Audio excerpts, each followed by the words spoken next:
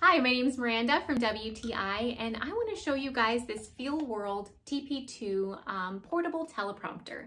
So my husband and I, we do, we create different videos for work and a lot of those videos are spokesperson videos and I definitely do not memorize the script. We bought this guy because um, we were using something else in the past and this has really helped me to read a little bit more accurately. Um, like I said in the past, we had something different and sometimes when I would read, I would see like, I don't know, it wasn't very sharp. I would see double and it was just very difficult.